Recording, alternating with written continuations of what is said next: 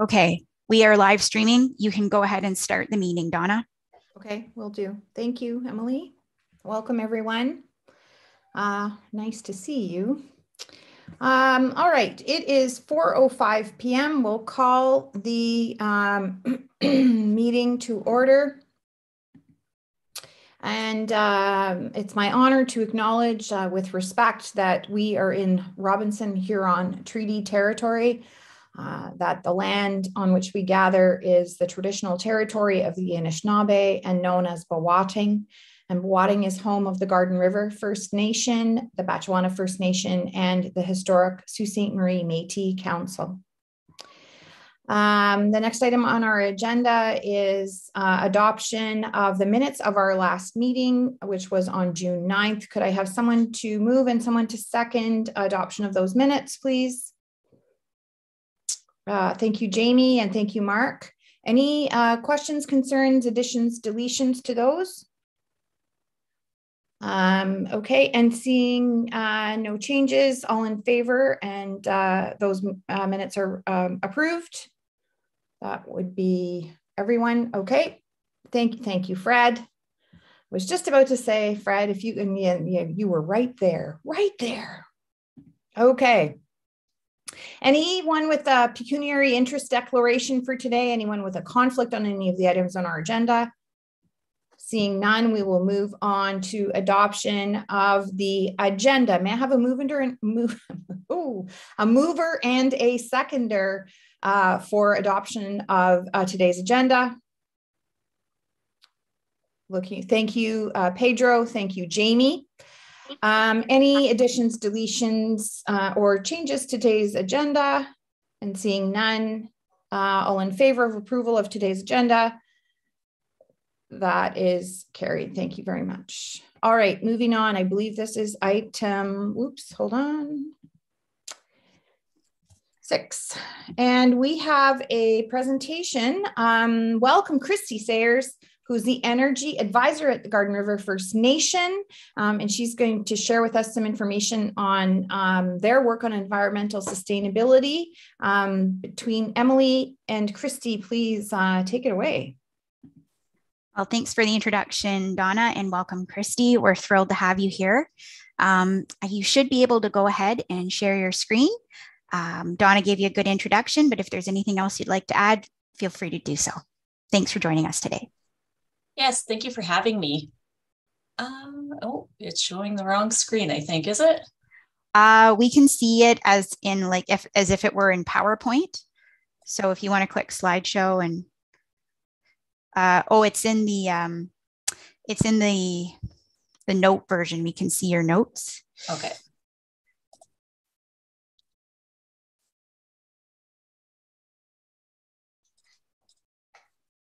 It always ends up doing this to me. Sorry. One of these days, eh?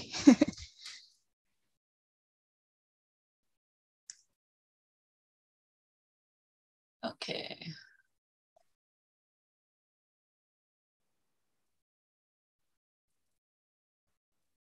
I think if you right click, actually, Christy, um, and you go to hide presenter view, and then click from beginning beginning again, should work.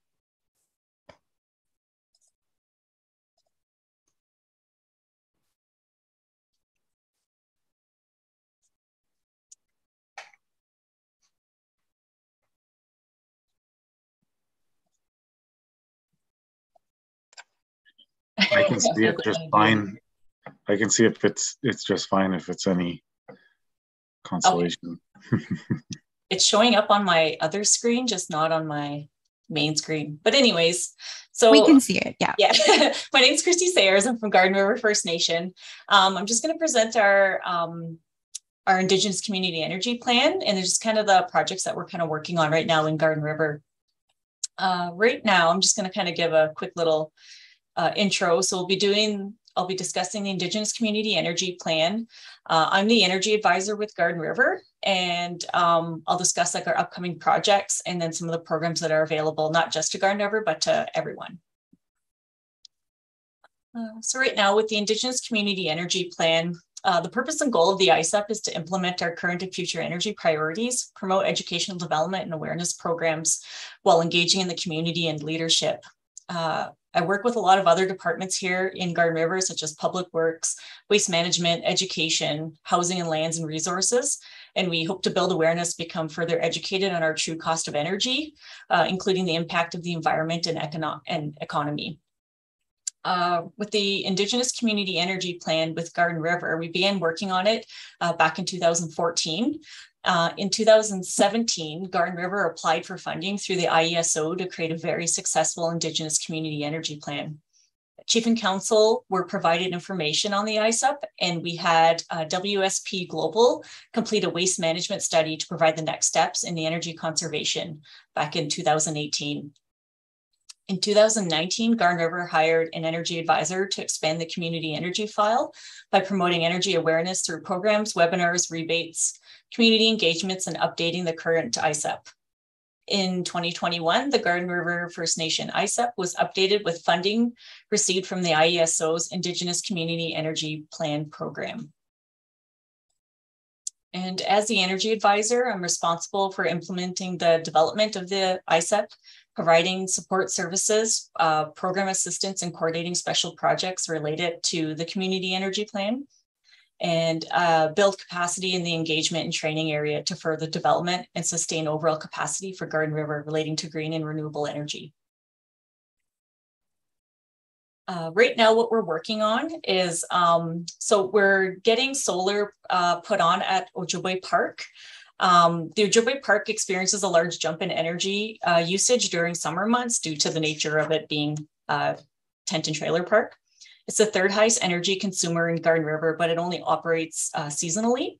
Ojibwe Park is the last band old building to receive solar PV panels due to previous cost and upgrades needed to the park's facilities. So we have about 12 buildings right now that uh, all have uh, solar PV on them, except for Ojibwe Park, which is obviously in the process right now.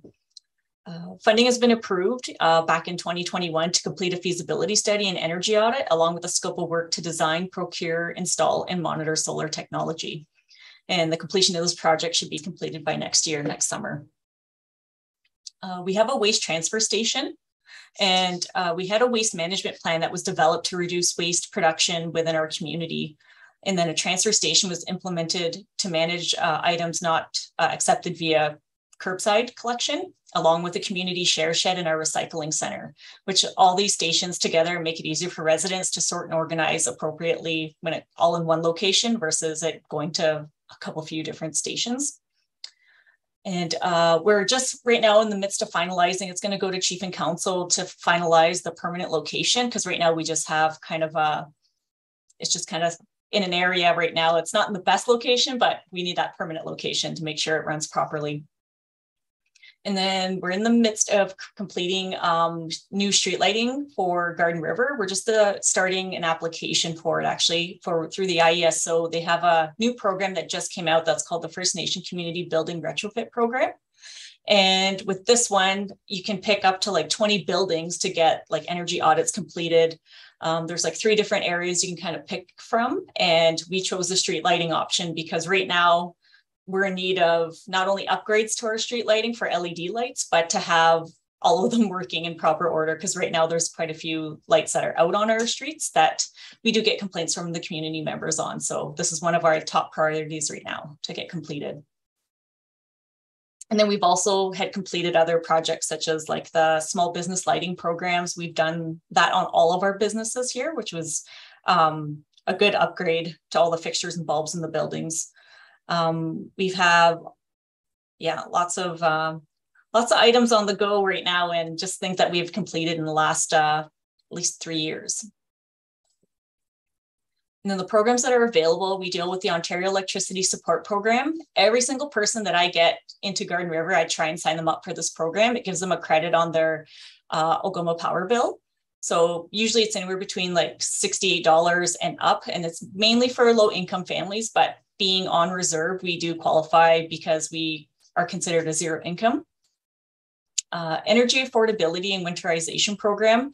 uh, with this pro with these two these are two actually two separate programs but they basically go hand in hand and it'll be the same uh, energy energy auditor that comes in and does all the assessments um, so usually if he can do both at the same time he will and these programs um, are great for they come into your home they do upgrades to your fridge your deep freezer um, your insulation in your attic just anything that'll help reduce the cost for energy uh, low income energy assistance program, the LEAP program. If you're behind on your electricity or natural gas bill uh, and you're in this, like looking at getting uh, service disconnected, you may qualify for emergency financial help. So they pay up to about a thousand dollars uh, total for if you wanted to split up between two bills, either your electricity bill or your natural gas bill, um, or you can put it all towards one if you wanted to, if you were that behind on your uh, payments. And then the small business lighting program, uh, the Save on Energy small business program is designed to help small businesses across Ontario and make equipment improvements to reduce the energy consumption at no cost. So they come in, basically give you your, um, basically an energy audit um, on all the buildings and they kind of look at your lighting. They look at your, uh, see if you need to get upgrades, not just bulbs changed, but like actual upgrades on your fixtures, that type of thing.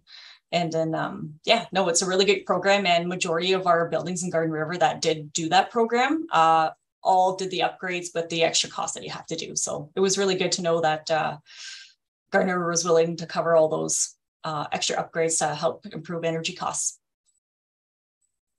and that's about it. That's all I have for right now. So if anyone has any questions for me, you can contact me at ksayers at gardenriver.org. Uh, it's probably the best way to get a hold of me is through my email, or you can call me at the office. And my extension is 241 here in Garden River. Thank you, Christy. Wow, there's a lot going on. Absolutely. um, uh, anyone with questions um, or anything you'd like to share with Christy? I'd like to just jump in quickly, if I may. Sure. Um, Christy, uh, for those who may not be that familiar with the Indigenous Community Energy Plan, is it available online? And also, um, could you speak maybe to some of the more uh, legacy or older solar projects? Just how many band buildings actually have uh, solar on them, just offhand, if you happen to know? Yeah, so there are 10 band owned buildings that do have uh, solar panels on them right now. So those buildings would be like our recreation center, our bingo hall, the community center, the wellness center, the administration building, our Dan Pine Healing Lodge. Um, I'm missing four.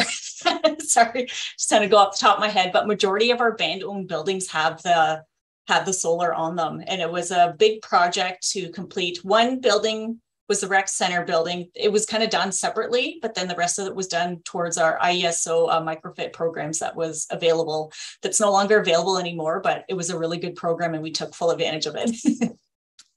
Glad that you guys did. No, that's awesome. And is there anywhere else, if anyone wanted to see um, online, maybe at Garden River to view the Indigenous Community Energy Plan? Is it available electronically? Yep, you can actually go right on to if anyone's on Facebook, you can go onto our website there too. Um, on our Facebook page, you can either actually it's right on the Garden River First Nation page, and we have our own website as well through um, Garden River uh, ERCD, which awesome. is Economic Resource and Community Development. Super. Thanks, Emily. Go ahead, Jamie. Hi, Christy. Thanks for the presentation. I have a couple of questions regarding like usage stats or results from these programs being implemented. Like, how's the uptake been, particularly on the home energy um, audits and, and updates? And what have you seen in terms of results from that for energy efficiencies? Right now, we've actually seen quite a bit of updates. Usually, it's been about about a three to four percent uh, change in our um, electricity bills. It's been huge for sol with the solar on them actually right now, not just through the programs, but with um, through residentials with the programs. Mainly residential people have gotten some major. Uh, a lot of them are in a credit right now with their Algoma power bills and stuff by using the OESP program, which is really good. But with the businesses themselves, um, I find majority of our bills in the summertime are in the credit, and during the winter time I think we come just close to maybe paying like five dollars on a bill at one point, and so that the credit from it really does pay off in the end for having solar on the buildings because it really does cover those costs and it saves us money. So it's it's worth it. Okay, awesome. That sounds good. Um, anyone else with questions for Christy? Okay, seeing none. Hey, Christy, thanks. Nice to meet you today, and thanks for sharing with us. It's great to see what uh, what you're doing in Garden River. We, you know, it's uh, we're all we all we're all in this together, right? So we all have to do our we have to do our part. So um, um, awesome. Thanks for your time today. Much appreciated. Yes, thank you very much. Thanks for listening, everyone. Take care, dear. Okay. So next, I believe uh, we are moving on to our Green Initiatives programs review, and we have several here. And Emily, I'm gonna um uh if sorry i'm jumping around on screens here. If you could just take us through these one one at a time that would be super. I'll let you take over here now or i'd appreciate it i should say if you would take over and we'll go through i think it's three right? Yeah we have um we have three of them. Our our first application uh, is Clean North, um, but I don't I don't actually see uh, their representative um, in the wings here. So I have reached out to them.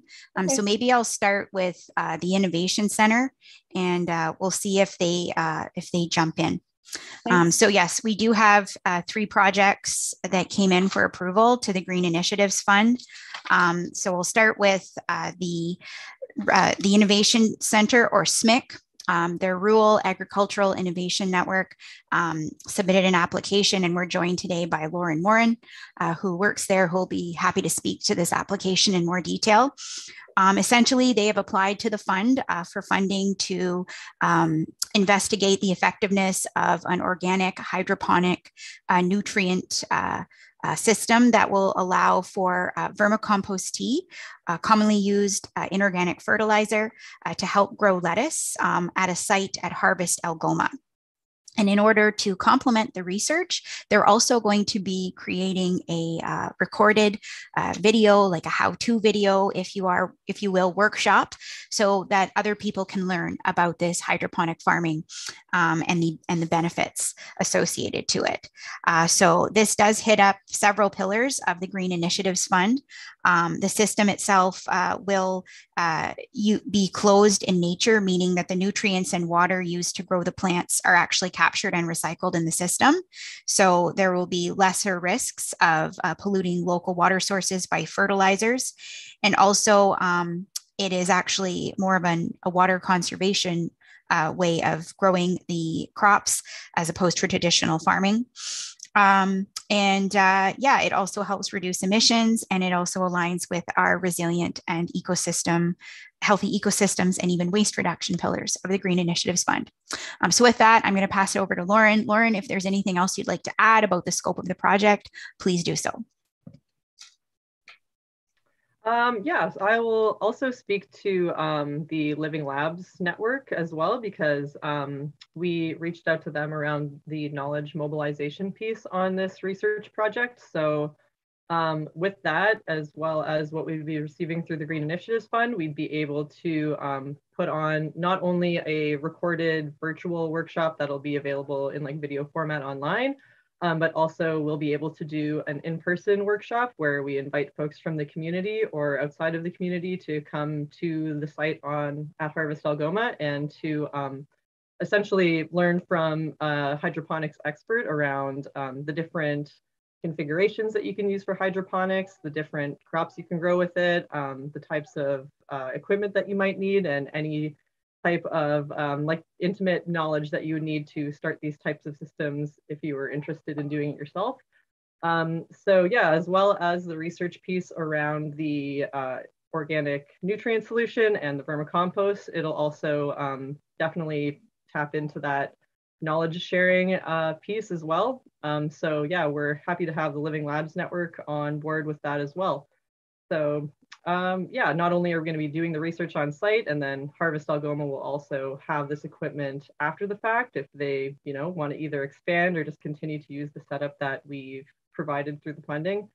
Um, so that'll help in turn to increase their capacity to grow not just over like the course of the summer months, but they would also be able to use it throughout like the late fall, early winter as well.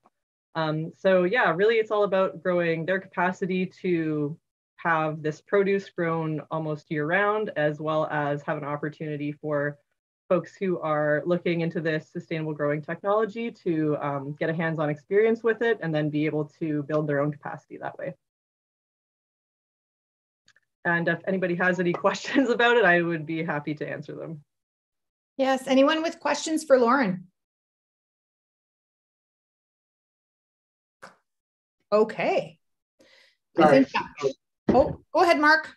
I was trying to find the unmute unmute button here. Um, just wanted to ask a few que- or one or two questions about it. Uh, what is the timeline you're looking at? So if you get the funding and then you are you going to start this and it's going to be um, you know develop all this stuff in a one year cycle and then you know what happens afterwards? I guess. Um, yeah, for sure. So um, for the research part project portion of this, it would uh, take place over the course of um, the month of September and October um, because uh, the type of crop we would be experimenting on is lettuce, and thankfully they're a cooler season crop. So um, that research portion would be taking course over the late summer, early fall months. Um, and once I've done the research portion, um, then that equipment will stay on site for Harvest Algoma and um, they'll be able to train their own employees and volunteers as well on how to operate these systems so that they can, and it could even be adapted because of the configuration that we've chosen for the setup.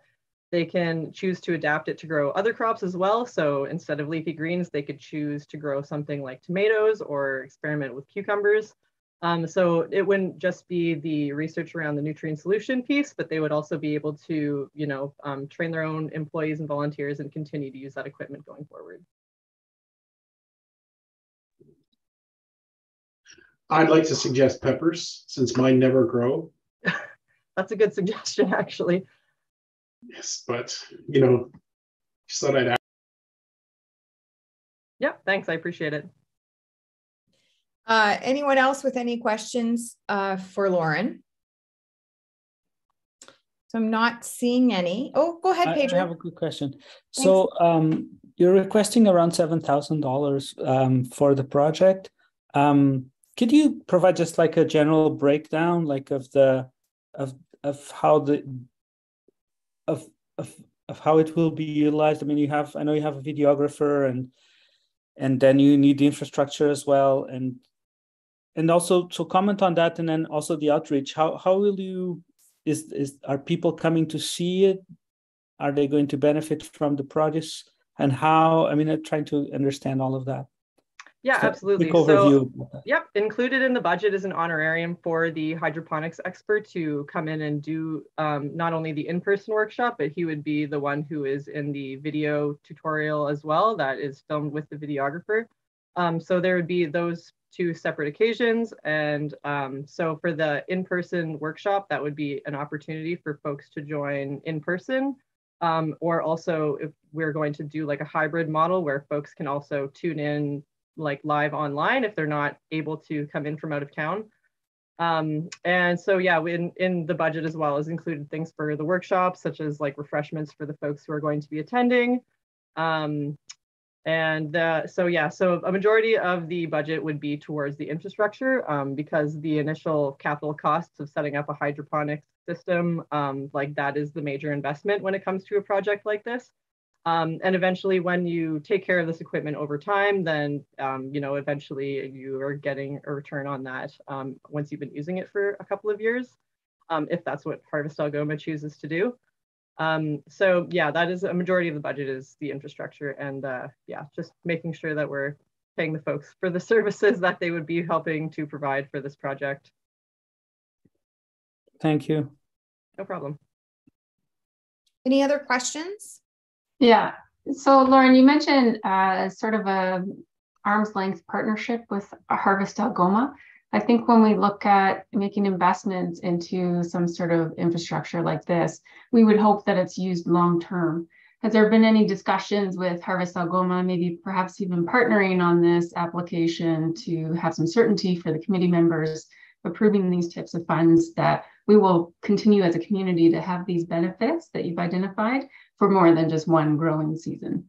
Yeah, absolutely. So Carson Beauregard, he is uh, currently working at Harvest Algoma and Darren Barlow is the project coordinator. And I've been in conversation with them about this project since um, the Green Initiatives Fund. Well, actually, before the Green Initiatives Fund, when we first learned about this Living Labs mini grant, that was a couple of months back. And since then, we've been in conversation around it. And uh, Carson is more than happy to use it as a learning opportunity for the folks at Harvest to learn how to operate this uh, this setup. And I've, you know, also highlighted the fact that it can be used outside of just leafy greens and they can adapt it to whichever crops it is that they're hoping to grow. Um, so yeah, once the setup is in place, as long as it's well looked after, then it can continue until um, like there's a couple of electronic parts like pumps and stuff like that that may degrade over time, but as, as long as everything is taken care of properly, then it could last years in operation. But it, it sounds like that Harvest Algoma has agreed to continue utilizing this system. Yeah, yes. So I've I've had conversations with Carson about it, and he's happy to use it as a training opportunity to expand their capacity as well, so that they'll be able to continue to use this after the initial research portion has been completed. Okay, thanks. No problem. I think that brings up an interesting question, actually, Jamie, what you were asking about. Um, and I, uh, forgive me, I read the report or the, the application on this um, a couple, a week or so ago now. So I, I, I may be forgetting something, but Lauren, um, speaking to what Jamie's talking about, contractually in your partnership with Harvest Algoma, is there is it written um, that you know the expectation is that that this would be carried on um, in multiple you know multiple seasons or, or, you know so it's it's it's it's more than a hope. Like it, it's very clear that that that that's the expectation. Yeah that was that was included in the application. And uh, yeah i've been we've we've been communicating back and forth since this whole the inception of this idea. So um, yeah they are they're more than willing to continue on with it and even potentially expand if they find that it's something that they're getting a good return on their investment for or you know Green Initiative Fund investment. Yeah, yeah, and and that's that's documented in writing. So like, there's an accountability on on both sides. That's awesome. Great. Okay. Any other questions for anyone? I just have a quick follow up question. For this amount of investment, how many lettuces can you produce? Um, so, how many people can you provide lettuces with uh, using the system on a given week, for example? Um, so, uh, it's depending on the size of the setup, I believe I can just take a look. Well, I'm looking at the budget here. Sorry, it's been a while since I wrote up the spreadsheet. I think it's requests for six, either six or four tables, and in each of those, um, 16 heads of lettuce is able to be grown in a three by three space.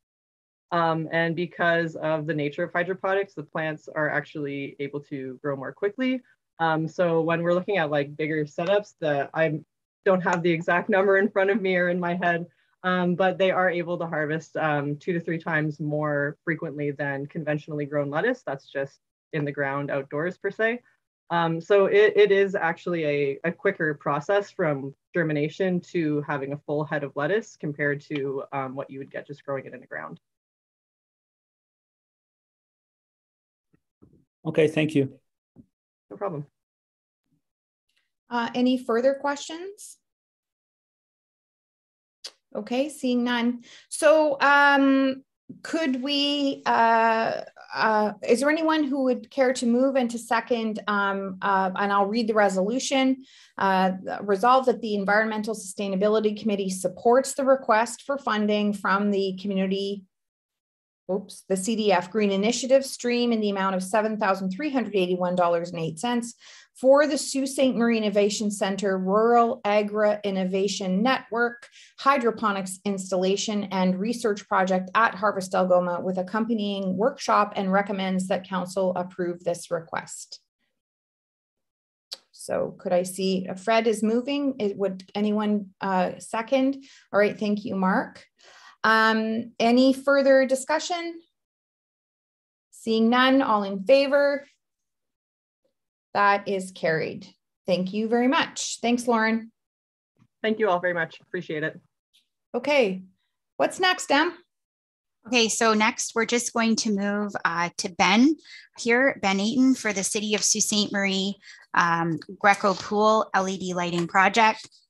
Uh, so thanks, Ben, for joining us today. Uh, so just a quick recap on this. This is an energy efficiency uh, LED lighting conversion project that is taking place at the VE Greco Pool uh, here at the city. Um, we have applied to the uh, kind of serendipitous, if you will, of uh, Christy talking about the small business lighting program. We are working through the provincial small business lighting program to upgrade uh, the, the lighting at the Greco pool to LED, um, but it only covers a portion of the project. And we've also maxed out uh, maintenance budgets for this uh, initiative as well. So due to the uh, nature of the lighting and the ceiling design at the facility, we need to purchase uh, kits to allow for the fixtures to be uh, installed properly for the LED lighting fixtures rather to be installed at the facility. Um, so the additional monies for that is what is being requested for this project. Uh, as I said, this is uh, an LED lighting project. It has the opportunity to reduce um, the energy consumption of the facility by about 7,000 kilowatt hours um, and result in around $900 in annual energy savings. Um, this aligns with the community greenhouse gas emissions reduction plan, specifically as it results in the, uh, uh, the implementation of energy efficiency retrofits and integrating energy technology that is sustainable. And it also aligns with our energy conservation and demand management plan um, that we are mandated to produce by the province. Um, so again, this, this project aligns with the green initiatives uh, program fund pillar of energy efficiency. Uh, ben, not sure if there's anything you want to add. I think I covered most of it there, but we're both here to, to answer questions if need be. No, I think that was most of it, yeah. Okay, uh, anyone with questions for Emily or Ben on this project? Seeing none. Oh, go ahead, Mark. Yep. So I guess I'll go first, or if I'm the only one that's gonna. Just a couple questions. So if this doesn't happen this year, will it uh, would it be possible to come out of next year's um, maintenance budget? I assume Ben, you can maybe speak to that. Like you get an annual maintenance budget for all of the facilities. I know our facility manager, uh, Jason, could probably speak to that in a little bit more detail. Um, but it's my understanding uh, in conversation with uh, Virginia, uh, who is the manager of recreation and culture, that monies that have been allocated to that budget for this year for other facilities, it's not just the Greco pool, um, have been maxed out. Uh, so there is a maintenance budget uh, that is available, um, I suppose, hypothetically, yep. Yeah, in the following we, year. We do have a maintenance budget um, but we've been pretty tight with it. We also put in two brand new sand filters that had to come out of our capital budget into that facility. And next year, we're looking at putting in uh, heating units as well for the outdoor pools, which is coming out of the capital. Which is not uh, the bu- the maintenance budget is pretty pretty slim there. Anything that major projects or whatever has to be approved by the capital What uh, further to Mark's question, um, Ben, what's the timeline on making this happen? Like, is this going to happen in this year or?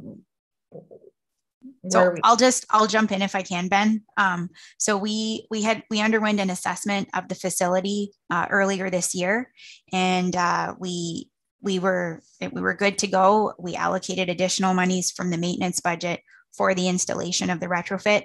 But when it actually came to when the contractors came there. Um, that's when they noticed uh, the ceiling design uh, situation and it upped the cost to require those retro, retrofit kits to allow for the installation of the fixtures. So we were hoping to get this completed this year.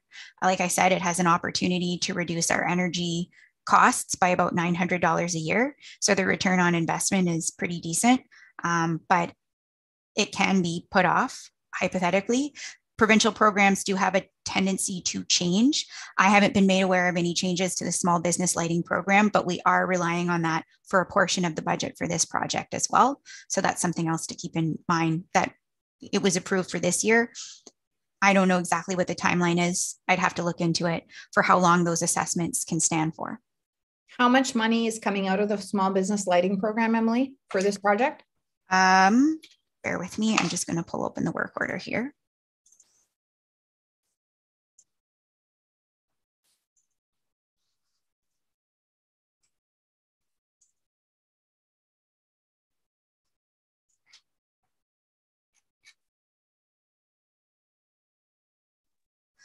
Three thousand three hundred and fifteen dollars and forty two cents. I'm sorry, could you say that again? Thirty three hundred dollars. Okay. Mark, go ahead. Sorry, I was going to say the uh, the S, this SBL, the Small Business Lighting Program, isn't it? It's up for renewal this year at the end of this year, so it'll be, you know, mid to end of next year before they get somebody new in place, and yeah, so next year's probably a wash in terms of just from what I'm aware of the provincial programs that are out there, that it's all under renewal. I believe it's at the end of this year. So, uh, from my understanding. Thanks, Mark. Any other questions from anyone on this project? Go ahead, Andre. Um, I, am not questioning the value of the project, but uh, maybe Donna, you can uh, answer this. Um, uh, if you look at the bigger picture, all this money is coming from the city. The city gave the Environmental Sustainability Committee some funds to help community apply to it. But I, I, find it funny that the city is applying for its own money from a pocket that they put money into as opposed to another pocket. It's just, I don't know if that's what our committee is to do. I thought maybe the money that we were given. I mean, I'm not, I'm just trying to figure out not the purpose of the project, but how this money thing is and why I because it's like we have this money as a committee to help worthwhile project. This project is worthwhile, but it's actually the city's money we're giving back to the city, kind of. You know what I mean? It's uh, that's my question or comment. Yeah, um, uh, the my answer to that, Andre, at this moment would be that's the system, um, and um, that, that's the. I request. can speak. I can add Thank to it, you, Donna. Go ahead. Thank so, you. So the Green Initiatives Fund is open to local nonprofit organizations as well as city departments, and both of those entity types are eligible for all six different pillars of funding, which includes energy efficiency projects. So, in the event that you have a project that is energy efficiency related, for example, like the one that we're facing right now? Should there be resource constraints from an internal standpoint? This is a pot of funding that municipal departments can go after. That is the way the terms of reference are designed. Uh, uh, can I just just a quick comment? It's um, I think um, how can I if if we have the city should could potentially every department in the city could potentially then um, say, well, we we could improve this and that, and then that money that we have could easily depleted for. Um, so I, I'm saying the city should put aside a certain amount of money to cover this outside of the money that we got. That's all, because I can see that if we open that door, then everybody else can come on. That's that's just my thought, and I I, I don't. That's I just like to think that's kind of a weird way of doing things. So, anyways, thanks for the feedback, Andre. Uh, any other questions? Um, seeing none, uh, where is anybody, uh, will anyone move uh, and then second um, this um, resolution resolved that the Environmental Sustainability Committee supports the request for funding from the Green Initiative stream in the amount of $2,938 for the City of Sault Ste. Marie's Greco Pool LED lighting upgrade project and recommends that Council approve the request. So I'm not seeing anyone prepared to, okay, sorry, thank you. Uh, Jamie um, and Mark. Um, and so um, all in favor of the resolution? All right, that's carried. Thank you, Ben. Thank you very oh, much. Okay, um, um, Emily, I assume we can um, we're able, so Clean North is our next application. Right. Um, we are able to uh, move forward without the applicant uh, being here. Right. Um, Right. I have worked closely with them on the application, so I'm happy to speak to it. Okay. Okay, go ahead. All right, so um, our final application for review this evening is the Clean North uh, Soil um, and RX Bottle Project Funding Request. Essentially, they've come in with two projects under one application. Um, however, they all they do align um, very much with uh, contributing to um, you know reducing waste as well as regreening initiatives within the community. Um, so the RX Bottle sub-project is part of a multi-city collaborative effort to divert clean prescription bottles with lids from landfills for reuse in international disaster relief. Uh, Clean North has collaborated with Earth Hub, which is a volunteer organization focused on spreading sustainable awareness, keeping items out of the landfill for reuse, and partnering with other environmental groups across Canada to make a difference on our planet.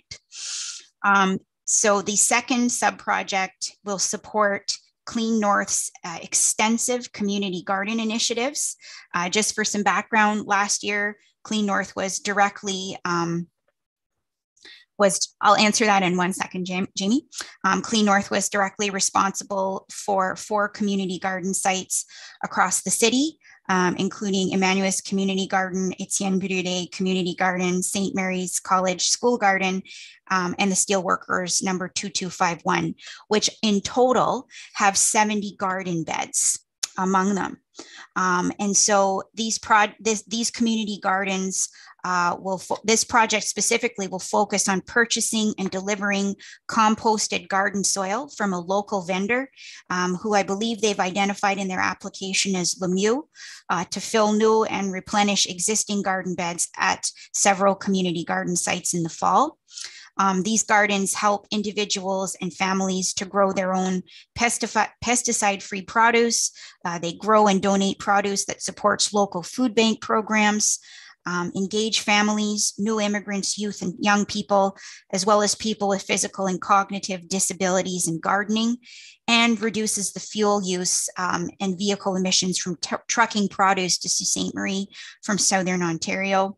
They're using a locally produced garden loam mixed uh, which is locally made using organic material that they divert from the landfill, which also reduces emissions from transporting soil and plastic bags from outside of the community and also supports a locally owned um, and operated soil composting business.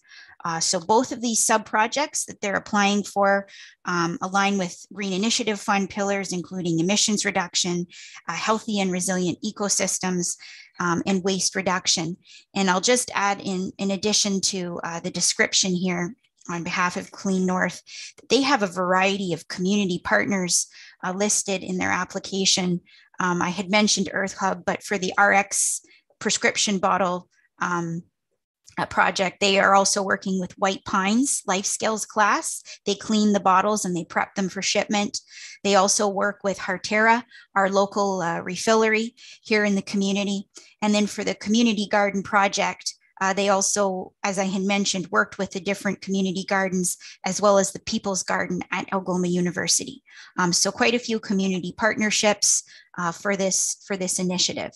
Um, so again, they're looking for assistance financially for the, the RX bottles from shipping and postage standpoint, as well as for the community garden, specifically the purchase of soil, compost soil from Lemieux Composting.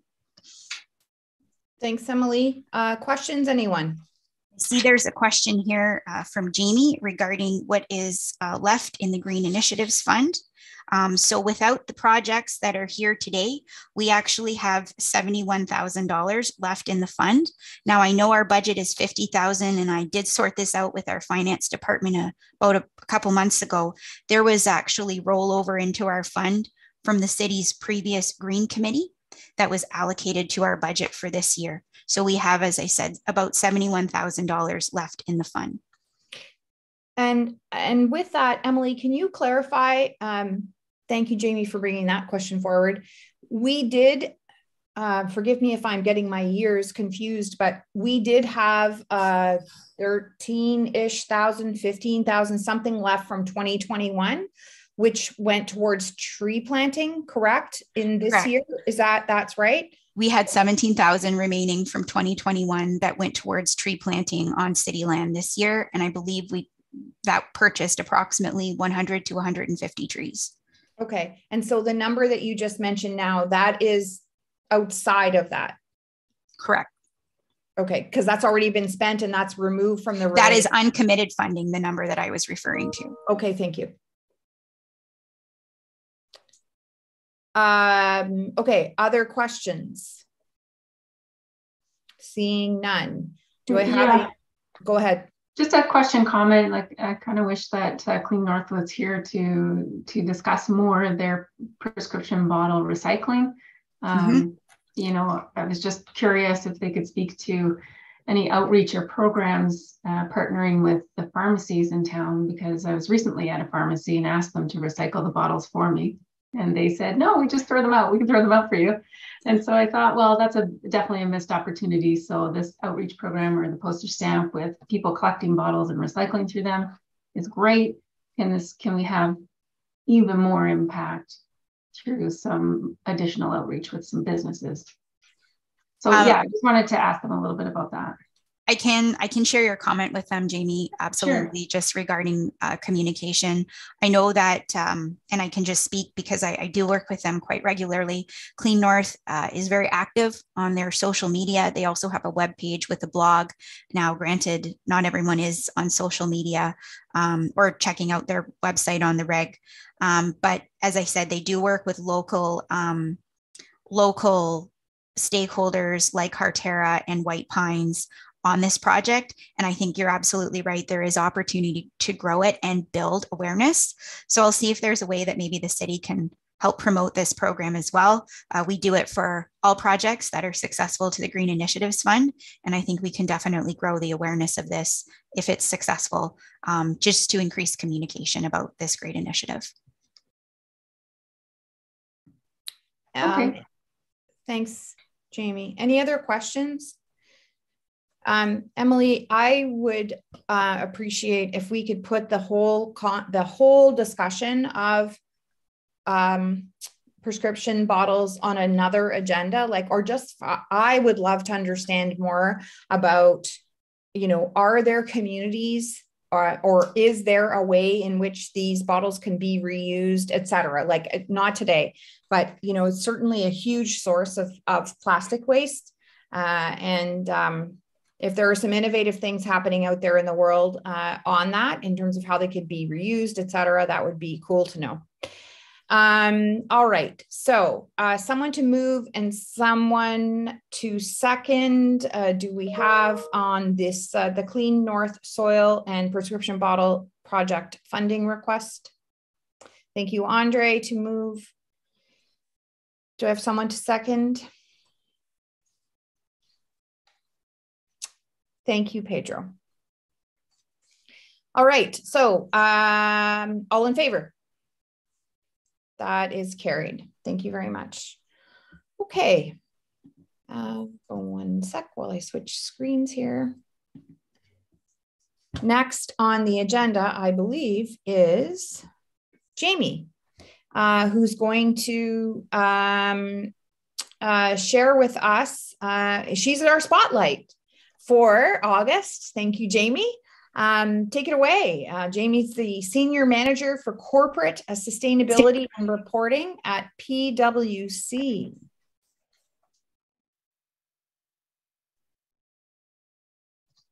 Sorry, y'all. I'll have to figure out how to mute and unmute myself when my controls hide when you're presenting something. So this is new. I, I work off uh, a Google Suites all the time, so I'm not as familiar with this whole Zoom protocol. All right, so it's super big on my screen. I'm going to put you all on that side, and I'm going to focus on the presentation. All right, so how am I moving forward on my slides? Clicking, there we go. Everything's good to go, Emily? You can hear me okay? You can see We can see and hear you perfectly fine, Jamie. Okay, so about PricewaterhouseCoopers, otherwise known as PwC.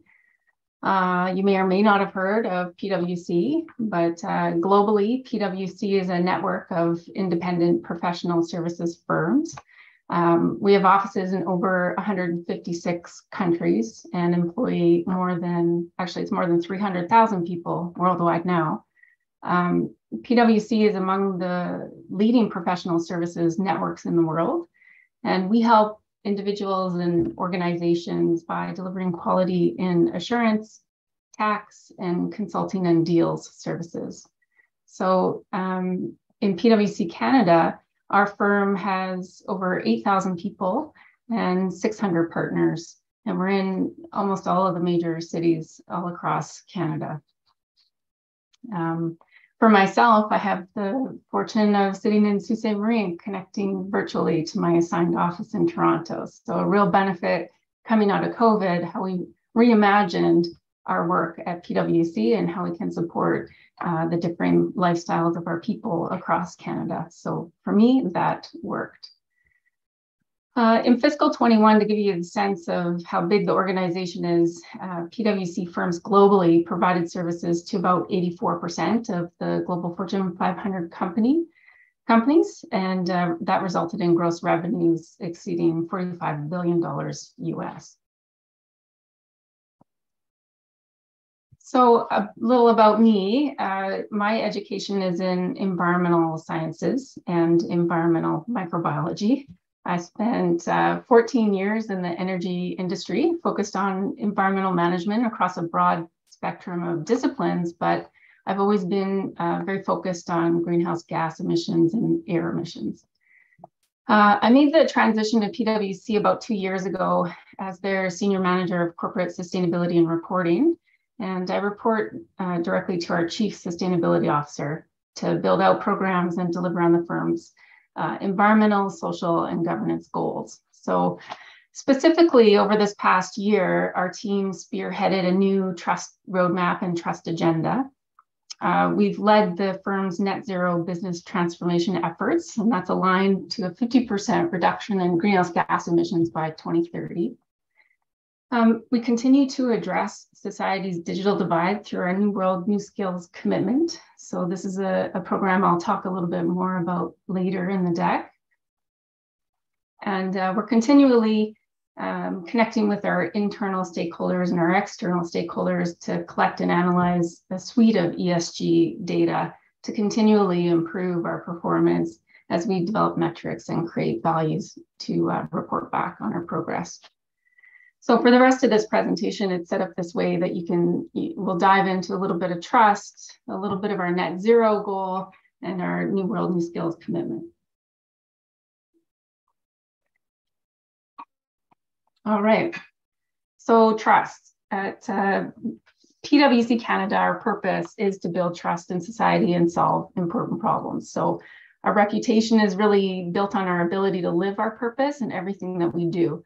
So from doing our work uh, with the organizations we serve to our broader impacts on society. So we have a long history of doing this through our financial reporting and our compliance work, but we know that building trust goes much further than that as we encompass a more diverse stakeholder landscape and uh, new and evolving drivers of accountability. So this is why we're on a journey ourselves to understand trust and take action to be accountable to living up to our commitments and being transparent about where we fall short. In January of 2022, we introduced our trust roadmap. You can see the links I've put here on the slide where you can view a little bit more about our agenda, our roadmap, and our KPI chart. So um, please check those out. So our trust roadmap, the intention of that is really to help ensure that our actions and behaviors match our intentions and our commitments in every interaction and relationship. And I know that every one of you will have a different perspective on what it earns trust. It's personal. Um, but I know that uh, trust is measured by individual and collective thoughts and feelings about our intentions. Kind of hard to measure, right? and it's, it's calculated against how well we embody competence, consistency, and integrity in everything we do, especially when things go wrong. So examining our current stakeholder sentiment allowed us to better understand what's important to our people, our clients, and the general public. And going through this process over the last uh, year and a half or so uh, really revealed how and where we are building, maintaining, or eroding trust in our brand. So I'm just going to play this video that'll help explain a little bit more about our, the journey of trust we're on.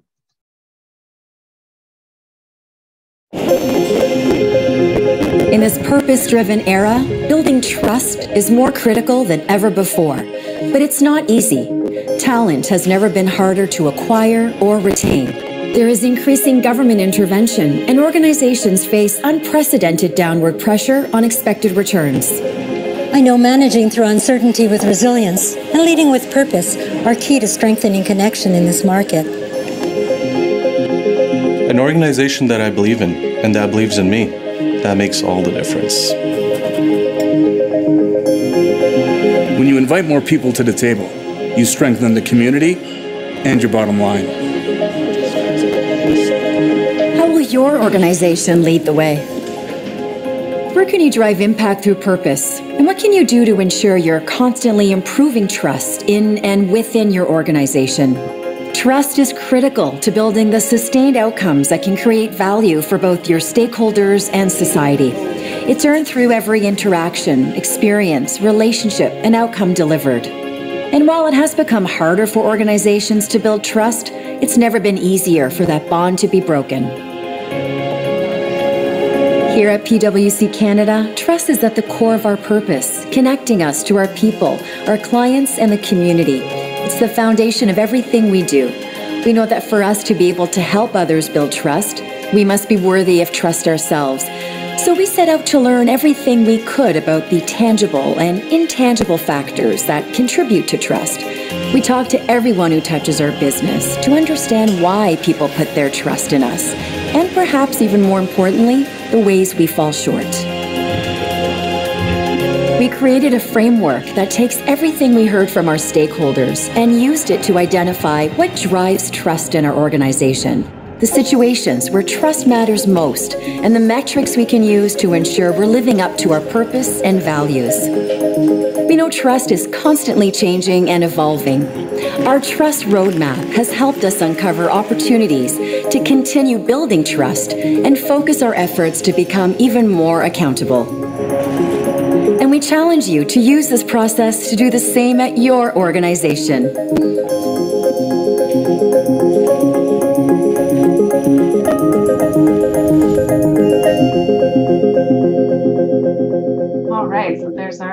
Video on trust that our team put together. And uh, it was a really interesting process to go through and scrape through the data from over 3,000 survey results to understand what the drivers of trust were. And for us, it were things that we want to uh, prioritize, such as engaging in courageous conversations in the moment, showing how decisions are made and how actions are taken, uh, stakeholders fairly and well, which are connected but very different uh, sentiments or concepts, rather. Um, continuing to adapt our services to earn the right to lead in our industry, and even things like fair pay for fair work, or just general table stakes ESG reporting topics. These are all things that, that drive trust in different ways for our brand at PwC. So these disclosures, these new public disclosures really augment our existing ESG reporting. Uh, they're behavioral based and they reflect sentiment. So it's different about how a firm, our firm in particular, is progressing against uh, expectations. So we have new indexes like an employee trust index, uh, the sentiment on the gap between being treated fairly versus well, and our speak up index around our culture and our ethics. So there are, of course, other table stakes KPIs. You can see them there. Um, we've also set five-year targets to make sure we're moving the needle and holding ourselves accountable. And we'll be reporting out on this twice a year. Okay. I want to play that. Yay, okay.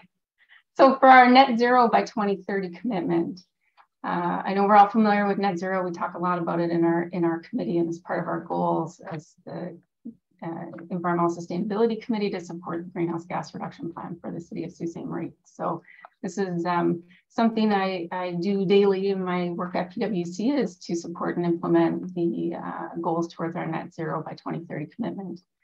In September of 2020, PwC announced a worldwide commitment to reach our net zero GHG emissions by 2030. Uh, this net zero commitment is underpinned by a science-based target in line with a 1.5 degree scenario to prevent the worst impacts of climate change as set out in the Paris Agreement. In July of 2021, our emission reduction targets were independently validated by the Science Based Targets Initiative. So what does this all really mean? Uh, you can see on the right there that little box of the different pillars in which we're working on uh, to affect this commitment. Uh, we work with our clients to support their efforts to make a net zero future a reality for all. So we're building on existing work we have in our consulting and advisory practices for sustainability and net zero transformation, first of all. Um, for what we're doing as a firm ourselves, we will reduce our absolute emissions 50% in scope two and scope one. And this primarily for us is our buildings, heating and cooling. So this is off a 2019 baseline we are halving this by 2030. We're also halving our business travel emissions. Uh, so for us, primarily, you can imagine air travel uh, takes the most of that as, as we're flying and seeing our clients all over Canada. Um, in addition, we're accelerating the transition to 100% renewable electricity and to mitigate our impacts today, uh, will continue to offset the remainder of our emissions that we uh, cannot eliminate currently through high quality carbon removal credits. We also have a supplier-based target here. So um, we will engage with our key suppliers and encourage and support them to achieve net zero.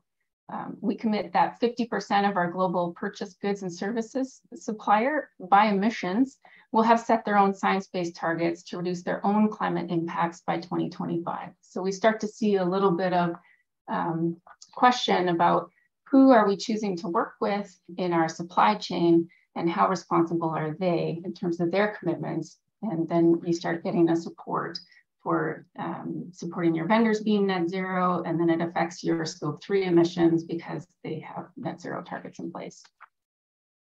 And finally, uh, at PwC, we will continue with our long-standing program of research and collaboration uh, with business, policymakers, and NGOs to accelerate the transition to a net zero economy. So I wanted to play this newly updated video from our global chairman, uh, Bob Moritz, on our progress in our net zero commitment. To solve the climate crisis, every one of us has a role to play. As a reflection of our strategy to build trust with stakeholders and deliver sustained outcomes, we're committed to leading by example. In 2020, we made a commitment to reach net zero greenhouse gas emissions by 2030. There are five things I'm particularly proud of. First, our climate targets were independently validated as being in line with a 1.5 degree scenario. Importantly, our climate targets cover emissions across our whole value chain, including both direct and indirect emissions across Scope 1, 2, as well as 3. Second, recognizing that our commitment is going to take an effort across our whole business, we now have a net zero leader in each country in which we operate around the world to drive local execution. And we've committed to have the carbon emissions associated with delivering our services by 2030. Third, we are contributing to the transition to net zero around the world. For example, we're a proud member of the UN's Race to Zero and the business ambition for 1.5 degrees. Specifically, we've joined the largest public private coalition to expand the market for high integrity carbon credits as well as protect tropical forests. And we've also committed to accelerate the supply and use of sustainable aviation fuel. Fourth, we continue to support the development of globally aligned ESG reporting standards by collaborating with standard setters and organizations like the World Economic Forum. We've become a founding member of the Net Zero Financial Service Providers Alliance, which means that we'll report on how our audit services are consistent with broader net zero goals. And finally, fifth, we're upskilling all of our people on the importance and relevance of climate, ESG, and all of the related issues. And we're supporting our clients as they develop and implement concrete net zero plans and embed ESG across the entirety of their organizations. And as a community of solvers, we are uniquely positioned to bring the right combination of people, capabilities, and technology together to support the worldwide focus on the net zero transition.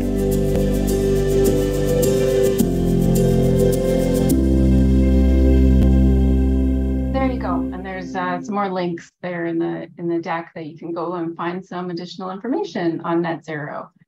Um, I think what I like about uh, the focus of net zero at PwC is they really are um, digitally enabled, human-led, tech-powered. So we're all encouraged to um, understand this data very deeply, to understand and model out the impacts of all the decisions that we're making, And we're making some um, investments right now in not only our people, but in technologies that help us consider our carbon footprint and the choices we make on our, our mobility.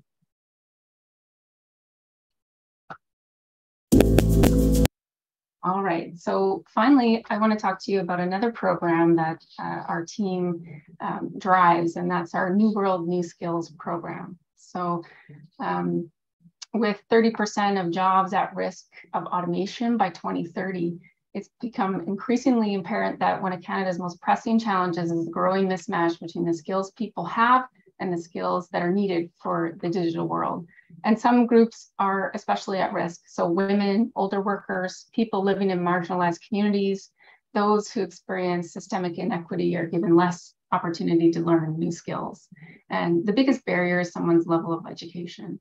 So that's why PwC Canada has committed $150 million through 2022 to upskill our 8,000 people to be future ready and to share their knowledge to support their communities.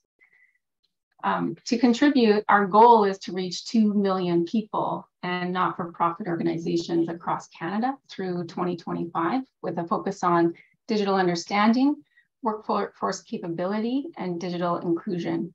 So I'm proud to say that we are just shy now of the 1 million uh, people and NPO mark. And so the next uh, three years will be important for us to reaching the next 1 million. Um, our goal to upskill 2 million people is focused on three societal impact streams. Uh, the first one is matching our people with not-for-profit boards and empowering them to upskill others. Um, there's a critical need for upskilling board of directors and management teams in the not-for-profit sector. And so by matching our people to NPO boards and empowering them to upskill others, we're helping to bridge this gap, which is shown to have significant socioeconomic impact for these organizations, making them more efficient at delivering their services. Uh, second, we are empowering our volunteers to share their knowledge. So we've got, as an example, an open source digital literacy curriculum program. So it allows other people to share uh, their knowledge in areas like data analytics, automation, and artificial intelligence so that other people are better positioned to help solve key issues facing society now and in the future. And thirdly, we are undertaking large scale pro bono projects that have scalable impacts. So this will ensure people and communities across Canada have access to practical solutions to their challenges uh, and in an environment that helps them learn and develop. So hopefully I didn't take up too much time. It looks like we still have some time on the agenda for Emily's updates. So wonderful, but uh, I'll leave it there. Thank you very much.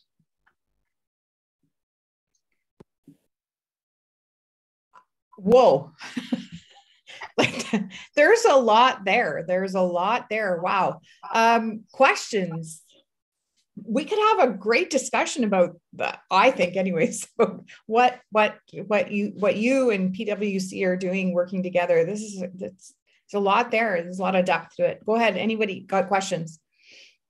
I have a quick question. Um, i'll just echo donna jamie. Wow. Um, I know you talked about the upskilling. Um, can you speak at all just on the climate change? Uh, what what type of upskilling is happening with regards to your your team on the climate change front? Yeah, so we have a whole practice in sustainability and climate change, and we continue to build that out and add more people. Um, we've got a, a program called Vantage, and it has these online courses that are mandatory and encouraged on ESG. So they're already built either by our Canadian L&D team or our global L&D teams. And so it's, again, open access, open curriculum for people to upskill themselves on ESG issues, net zero issues, data analytics, any, anything you can imagine. Uh, right now, we're doing uh, mandatory four seasons of reconciliation training. So there are components of different types of training that are, are uh, encouraged or mandatory. So yeah, that's a little bit of the upskilling that we're doing on, on ESG specifically. Um, we also have a, um, a digital accelerator program. So people who are interested in analytics and learning tools for analytics will, will get will volunteer to go into this program and become one of our digital accelerators that help upskill others in our organization. So that's a really cool program.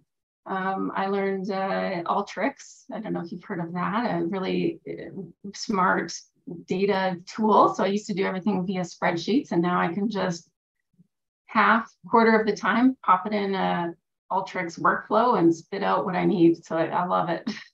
it's great. We work with very large data sets now, so so it's uh, helpful. Thanks, Jamie. Yeah, sure. Pedro.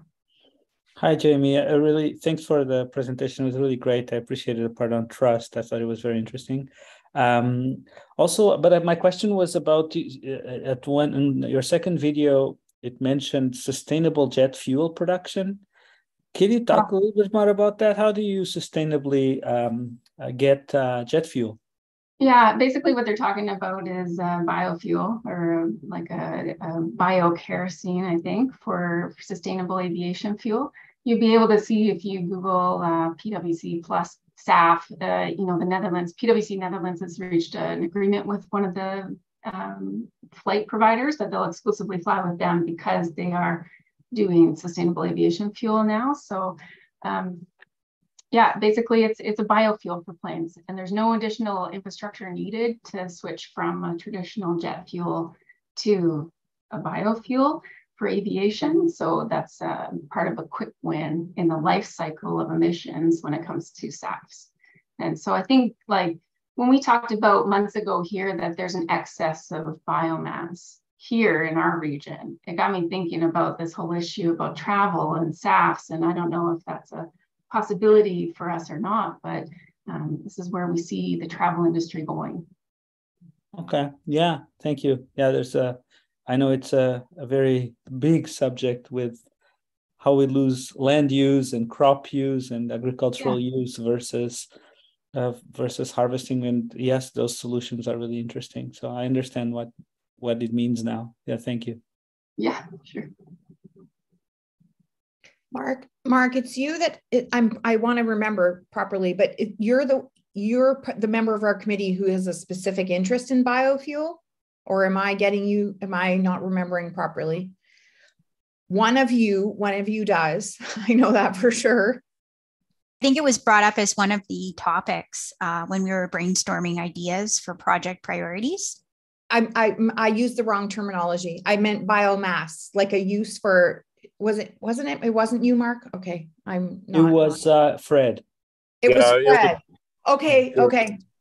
Yeah it was me related to the local forestry forest biomass availability. Okay. Um, i've never heard this term upskilling before. That's a new one for me. Um, interesting. Um, anyone else with questions for jamie? Yep. Yeah, I was still got time. Uh, I just I was curious about the uh, when you talk net zero 2030, uh, and specifically with the supply chain. Do you um, how do you encourage or support, or I guess not really tell your suppliers about uh, to go net zero?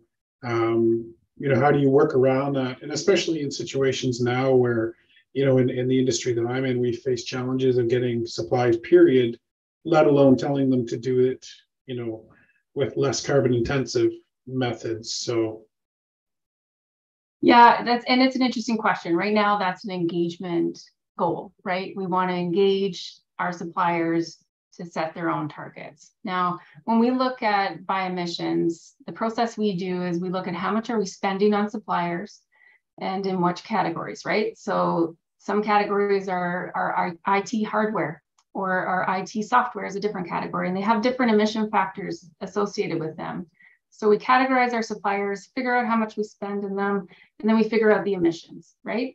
And then we're starting to rank by emissions. And we can see that IT software for us is actually quite high, like top three. So then we think about who are suppliers in software.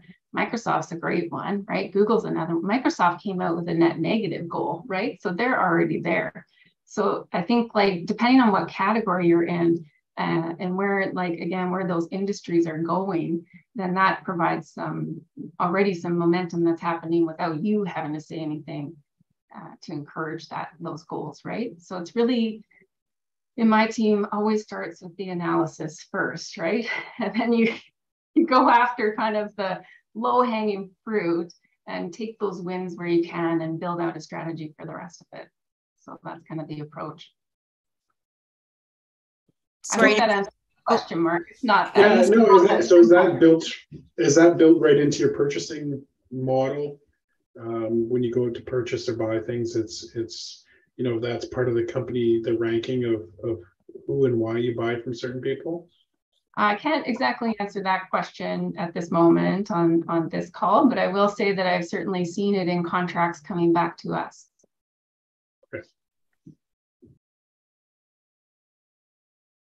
Pedro, I think you wanted to jump in too.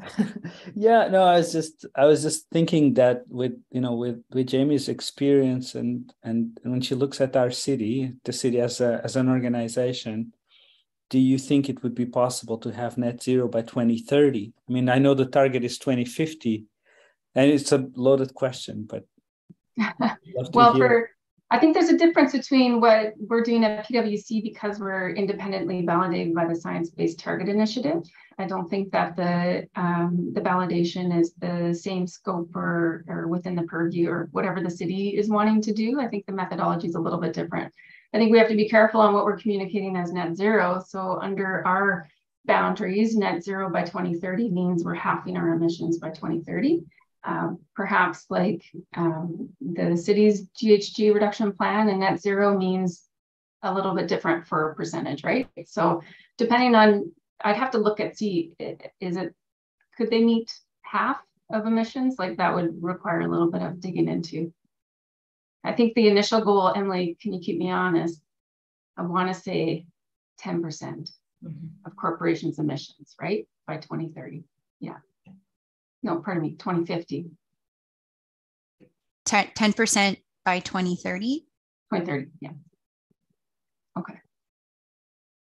Yeah, I mean, that's certainly as a committee where I would like to spend more time digging into and understanding um, specifically what is the pathway to 10% by 2030. Thank you. I'm not, I'm not sure we, we've dug into those gritty details just quite yet. Yeah, I agree. Thank you. That's why I asked, but I know we'll get there. um, anyone else with other questions for Jamie? Awesome. Thank you. Thanks, Jamie. Uh, there was a lot of information in there. Um, and uh, congratulations to your company for that. Like it's expansive, it's global, it's really so interesting um, and effective, obviously. Emily, take us home. Hey, um, all right. So I thanks again, Jamie. That was super, super enlightening. Um, I'm going to jump in here into the project update for our Environmental Sustainability Committee uh, Project Priorities Working Group for 2022. So as a reminder, there were three projects that the committee wanted to focus on. The first one related to active transportation and I'd like to say that the, the working group has made some excellent progress on a survey uh, for uh, sharing with the community, as well as the re um, the revamping, if you will, of our corporate webpage for active transportation, which as it currently stands is extremely lean. So we've got some really great feedback from the working group. Um, all of this has actually gone and been shared with our planning department.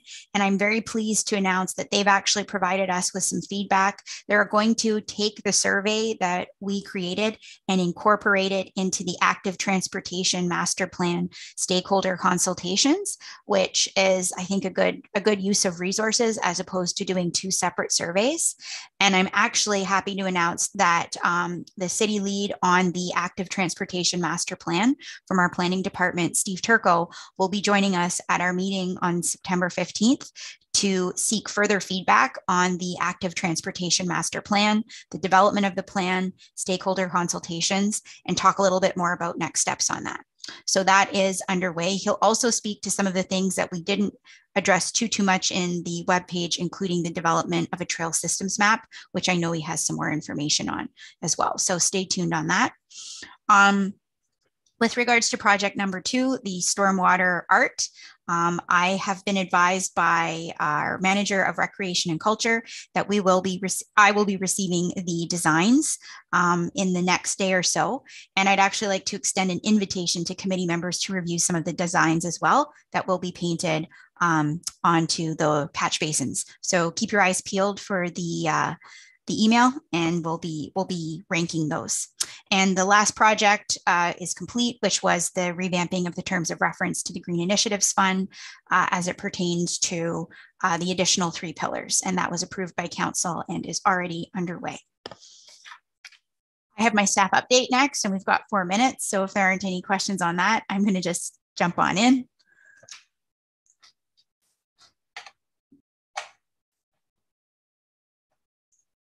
Okay, can everybody see my screen? Okay. Okay, so a couple of quick updates. Um, the, the city's uh, annual energy and emissions reporting to the province has been submitted and has been posted to the city's webpage as per the regulations. So that's done. Um, a couple of other updates on the go here. Um, you may have seen earlier this week at council that the single use plastics ban bylaw has um, been approved. And I can share more details on that uh, perhaps at another meeting when we have a little bit more time. Um, we are underway at exploring how we can look for funding as well as update our energy audits, which are very old. They were done back in 2010. And we'd like to undertake a series of deep carbon retrofits um, audits rather on um, all city facilities, but for sure our big emitters. So more details to come on that uh, soon. Um, we are in the process of finalizing the uh, selection of a bidder for our community retrofit program feasibility study. So again, I'll hopefully have more um, insight on that at our next meeting. And um, the official plan that is in the process of being updated and finalized was actually reviewed from a climate lens by the Climate Risk Institute. A lot of excellent feedback was provided to the city on this, um, and I will be meeting with our planning department to uh, discuss that in more detail, some tweaks um, regarding not only mitigation, but also resiliency and adaptation. Um, I have received direction from council to develop a community EV charging infrastructure plan. Um, so I will be sharing progress on that with the committee. We've got a couple new retrofits on the go, including um, the a recommissioning project at our GFL ice plant. We've applied for funding for that from the Federation of Canadian Municipalities. Um, and uh, more details to come. Hopefully, we're successful on that. And we also have an opportunity to update uh, some more lighting at our public works garage. Um, so some decent energy savings there, uh, as well as an incentive um, from the province. And we'll be looking at replacing another piece of equipment at um, our seniors drop-in, which will reduce our emissions um, as well. And we're working on updating our corporate emissions uh, update for 2021. And this, per our pledge to the race to zero, is due by the end of Q3 and will be shared with the committee.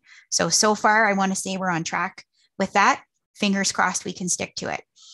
Um, so that's it for the updates. A lot of really good shared resources to share. Um, for those who haven't been checking those out, I encourage you to do so. we've got a really nice inventory of almost 100 resources that have been shared by different committee members over the course of the year. Um, so really nice to see that. And this is also open to the public. Um, and last but not least, I just want to highlight a couple of things. You would have received an email from me earlier this week uh, regarding our September ESC meetings. Our, our normal meeting, which is scheduled for September 8th, has actually been transitioned into a one hour special presentation. Um, we're pleased to have partnered with the city's planning department and we'll be hosting um, international urbanist Mr. Brent Toderian, as well as the city of Kingston, who will be speaking to us about uh, they're very innovative and outside of the box project regarding parking reform. And uh, Mr. Toderian will also be sharing some best practices as it relates to urban sustainable development. He's worked with municipalities around the world Oslo, Brisbane, Vancouver. Um, so I think it'll be an insightful presentation. City staff, including senior management, as well as mayor and council, have all been invited. Um, so I'm hopeful that we'll have a good turnout from our city leadership for that. Um, so you can register uh, in this PowerPoint or you can reach out to me directly. But as uh, leaders on our environmental committee, I strongly encourage you to attend. Um, and so our regular ESC meeting will be quite short, but it will be taking place um, on September uh, 15th. Um, so if anyone has any trouble with that date, please let me know. I'll send out a follow-up email, but I know I've inundated your inboxes quite a bit this week um, just to make sure that everything works for everyone um, next month, um, as well as some more details about attending meetings in person. Um, so with that, I'm going to end. I think we're at probably 5, oh, 531. Um, so I'll stop sharing my screen. I know that was pretty rapid. Um, if there's any quick questions, happy to answer them. Anyone with questions on uh, Emily's uh, reports?